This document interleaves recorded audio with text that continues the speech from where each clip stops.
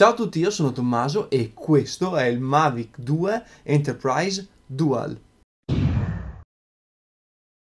Perché si chiama Dual? Beh, perché ha una telecamera sul visibile e una telecamera termica, che è proprio l'interesse che suscita questo prodotto che ha un prezzo inferiore ai 3.000 euro, quindi molto interessante come macchina. Ma andiamo a vederla subito, che così diamo un'occhiata a come funziona. Assomiglia moltissimo al Mavic 2 Enterprise, anzi è una versione eh, aggiornata del Mavic 2 Enterprise, che non è altro che una versione aggiornata a sua volta del Mavic 2 Pro e Mavic 2 Zoom. Difatti la macchina è la stessa, identica, non cambia assolutamente nulla, a parte la scelta dei colori sugli adesivi eh, differenti, difatti li hanno fatti rossi in questo caso, ma ecco qui la parte che ci interessa maggiormente, ovvero questa telecamerina piccolissima che ci permette di avere appunto la parte visibile e la parte termica. La parte sul visibile è una telecamera con un sensore da 1 su 2 terzi di pollice da 12 megapixel con un field of view approssimativo di 85 gradi e un'apertura f da 2.8. Ha un range ISO da 100 a 3200 e può filmare fino a 4K, quindi 3840 x 2160 a 30 frame al secondo. Ovviamente può filmare anche in 2.7K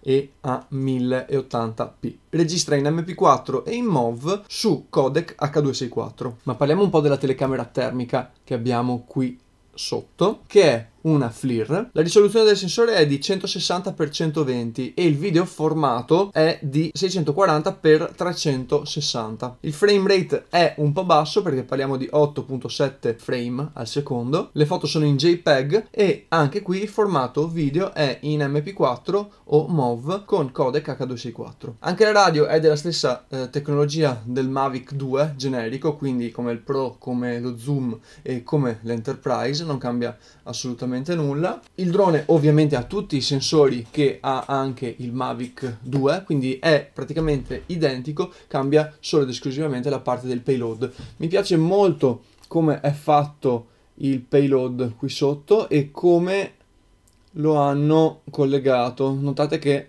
ha questo gimbal su tre assi e lavora, lavora, molto bene, è molto stabile effettivamente come gimbal. Parliamo un po' di pregi e di difetti di questa macchina, perché le persone con cui ho eh, parlato ci sono molto lamentate del fatto che il sensore è veramente piccolo. Effettivamente il sensore da 160x120 non è grande, ma anche il prezzo di questa macchina è di 3.000 euro scarsi. Eh, se vogliamo raggiungere un sensore un po' più grande, sempre rimanendo nel campo FLIR, visto che DJI e FLIR collaborano e hanno anche altre macchine con sensori più importanti. Parliamo della nuova XT2 che ha un sensore da 640x512 in virtù poi del millimetraggio della lente che gli si applica e oppure 336x256 su millimetraggio 13, 19 e 25 però la sola macchina solo il gimbal con eh, la camera termica duale costa 12.000 euro capite che eh, c'è un gap immenso in, da, da, quello che potrebbe essere l'acquisto di un drone da 3000 e un gimbal da solo da 12.000 più un'altra macchina che potrebbe essere boh, un matrice 200 che sono altri 6.000 euro più o meno quindi si cambia eh, completamente il range di azione. Non mi sento di fare un paragone quindi tra un eh, XT2, quindi con un matrice 200 con una camera eh, che in totale vi costa quasi 20.000 euro e una macchina che ne costa 3.000. Mi sento piuttosto di eh, farvi vedere quali sono stati i test che abbiamo svolto negli ultimi giorni con questa macchina che ci è stata tra l'altro gentilmente concessa da Attiva SPA e eh, vedere cosa si può fare e cosa invece non si riesce a fare con una macchina del genere. Io sono rimasto stupito di ciò che si può fare. Calcolate che abbiamo volato quasi sempre sotto ai 50 metri di quota, perché comunque le necessità che avevamo per i lavori che abbiamo scelto di testare erano quelle. Abbiamo lavorato in notturna per andare a ricercare persone e animali. Abbiamo lavorato su una discarica per andare a visualizzare le zone di biogas che venivano emesse, quindi il calore della terra che variava da un punto all'altro e abbiamo lavorato su dei pannelli fotovoltaici per vedere se ne trovavamo di difettosi, rotti o comunque da sostituire. Diamo un'occhiata alle immagini e poi le commentiamo assieme.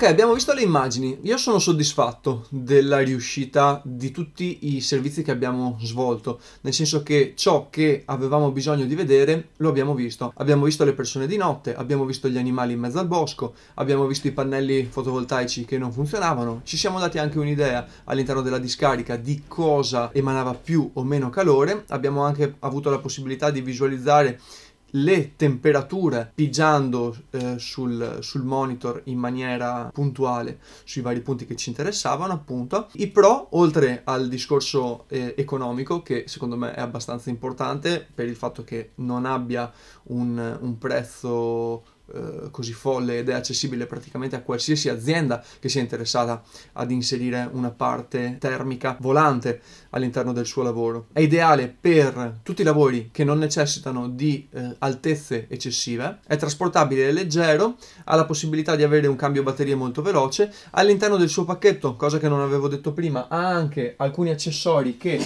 abbiamo testato con soprattutto la protezione civile che sono le luci notturne quindi questo led che viene posizionato sulla cappotta del, del drone. Luce strobo piuttosto che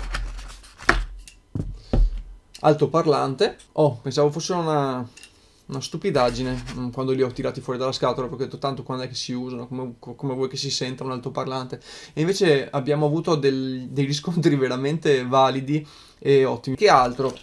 Questa era la parte dei pro, stiamo passando alla parte dei contro, la definizione appunto è bassa in confronto a una macchina che però costa eh, 20.000 euro, quindi eh, ci sta che ci siano delle differenze sostanziali sulla parte dedicata alla definizione, quindi ai pixel, alla risoluzione video per quanto riguarda la termica, c'è un'impossibilità di filmare in manuale. Allora, io nasco per, per le videoproduzioni, quindi la cosa che ho guardato eh, tra le varie, le varie, cose che mi interessavano di questa macchina era la possibilità di fare anche dei buoni video nel momento in cui uscivo per fare una sorta di, di film documentario di ciò che si andava a a eh, registrare. Purtroppo ho notato con dispiacere che ad oggi il firmware che DJI ha rilasciato è molto molto scarno nel reparto visibile perché eh, al contrario del reparto termico che è molto ben curato e adesso andremo a vederlo eh, perché mh, mm, ho deciso di registrare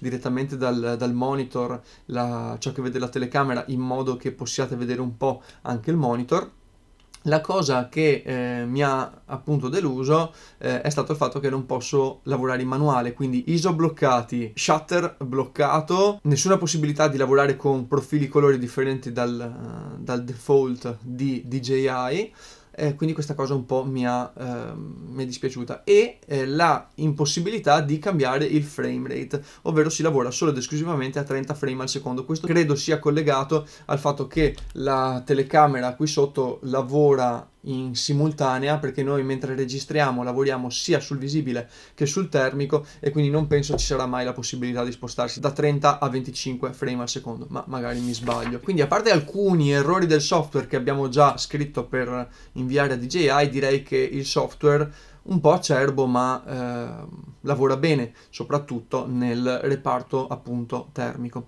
C'è anche una visuale terza che non è né eh, visibile né termica ma si chiama MSX ovvero è un'unione del visibile e del termico che rende eh, molto di più l'idea di come si sta andando a lavorare perché crea i contorni di tutto ciò che è eh, visibile ma nel termico. Ma andremo a darci un'occhiata anche su questo adesso. Basta, direi che detto tutto quanto. Diamo un'occhiata all'applicazione, così vi date un'idea anche di come funziona l'applicazione. E poi ci rivediamo per i saluti. Eccoci qui all'interno del menu uh, del DJI Pilot che non è la DJI Go 4 ma è un'applicazione dedicata ai droni Enterprise quindi DJI Pilot. Abbiamo la possibilità di gestire il manual flight e il mission flight. Entriamo nel manual flight per ora e diamo un'occhiata a che cosa ci viene indicato eh, abbiamo la nostra checklist iniziale con tutte le eventuali problematiche che si possono riscontrare. Per ora va tutto bene compass IMU electronic condition visual sensor è tutto a posto gimbal status eccetera e ci spostiamo fuori. Vedete che già da subito abbiamo una inquadratura che è quella termica, la classica, quella, che, quella da videogioco. E abbiamo la possibilità di gestire questo tipo di inquadratura che è la eh, sul eh, visibile, termica. E MSX, ovvero vedete la possibilità di avere i contorni delimitati da queste righe che vi danno, vi danno un po' un aiuto. Ad esempio qui dietro vedete che ci sono eh, gli alberi fuori dalla mia finestra, se torno sul visibile li vedete, sono qui gli alberi, mm, se fossimo solo sul termico gli alberi non li, possiamo, non li potremo vedere, mentre con l'MSX abbiamo anche questo aiuto. Ovviamente in virtù della distanza che stiamo andando a eh, ritoccare dovremo andare poi a ricalibrare la nostra, eh, la nostra distanza. Vedete ad esempio qui la mano è completamente sballata, dovrò andare a calibrare il, il mio sensore attraverso le impostazioni all'interno del, dell'app comunque le abbiamo qui. Vedete che rimetto a posto la mia calibrazione. Ecco qua il mio MSX lo posso andare a centrare in questa maniera. Ok era giusto per farvi vedere anche questo come funzionava. Quello che mi interessa farvi vedere sono le impostazioni perché grazie alle impostazioni riusciamo a lavorare meglio. Vedete che sono troppo luminoso in faccia, ma per il semplice motivo che se apro la bocca, vedete che lo faccio perché ho un MSX attivo, ma se avessi la visuale classica, aprire la bocca o meno non dà nessun tipo di differenza. Come faccio a lavorare in questo caso? Scusatemi il, la sottoesposizione, ma eh, stiamo utilizzando direttamente la, la camerina del Mavic. Abbiamo la possibilità qui sopra dove c'è quel pulsantino con il termometro, di cliccarci sopra e di andare a gestire le temperature, quindi un range di temperatura. Innanzitutto abbiamo la possibilità di scegliere il tipo di visualizzazione, quindi hotspot piuttosto che rainbow, piuttosto che gray, piuttosto che hot metal che era quella classica o cold spot. Ok, quindi in virtù di quello che ci serve, adesso per ora teniamo l'hot metal e ci spostiamo sul termometrino qui in basso perché voglio andare a scegliere io la tipologia di temperatura. Mm, prima di farlo vi dico perché voglio fare questa cosa. Perché se io mi sposto con il gimbal, a seconda di dove vado a vedete, vedere, lui automaticamente mi cambierà il range di colorazione. Quindi se io adesso mi metto qua in mezzo, vedete che cambia il range di colorazione? io mi sposto e lui gestisce in automatico i range di colorazione. Ma a me non interessa. Vedete che cambi il range di colorazione nel momento in cui passo. Io devo avere la visibilità perfetta della mia persona in questo caso in qualsiasi condizione. Che io passi su una zona un po' più calda piuttosto che un po' più fredda quindi la soluzione è appunto andare a creare un eh, range non più automatico ma manuale delle temperature che vogliamo andare a visualizzare noi. Anche qui c'è un piccolo errore nell'applicazione perché le low temperature e le high temperature sono state invertite qui in basso dove sto pigiando con il dito, vedete? Low temperature e mi alza la high temperature, high temperature e mi muove invece la temperatura bassa. C'è questo errore qui ok quindi io comincio a gestire un range di temperatura che sarà tra i 19 e i 60 gradi in questo caso io andando qui ho la possibilità anche di vedere la mia temperatura corporea quindi la mia fronte adesso è a 30 gradi 29 e 97 adesso non ho un altro, un altro termometro per vedere esattamente eh, le, le temperature, ma vedete se io metto la mano, la mia mano è molto più fredda ed è 25. Adesso ad esempio metto la mano qua, vedete che rimane l'impronta della mano. Se le scaldo, le mie mani saranno più calde, arriviamo a 28 gradi, 28 e mezzo. Ok, eh, questa è una tipologia di inquadratura che mi pe- permette ad esempio di vedere solo le parti calde che mi interessano. Quindi se io adesso mi sposto come ho fatto prima e mi rimetto, no, ero da questa parte di qua, scusatemi, vedete che non ho più nessuna eh, cosa visibile. a meno che io non vada a entrare con la mia mano. Quindi in questo caso sono in un bosco, sto passando, non vedo assolutamente nulla, vedo l'animale che passa, a quel punto avrò la, il mio feedback del, dell'animale o de, di ciò che sto andando a ricercare. Eh, solitamente non utilizzo questo tipo di filtro, ma utilizzo questo filtro qui, hotspot, eccolo qui, e vado ad aumentare leggermente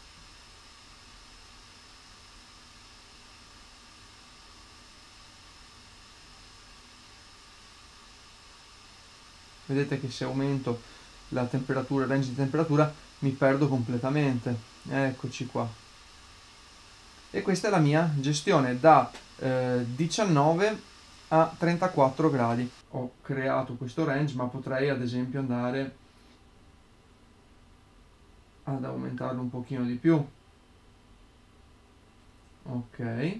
Posso pigiare sul più qui sotto per avere anche una maggiore gestione.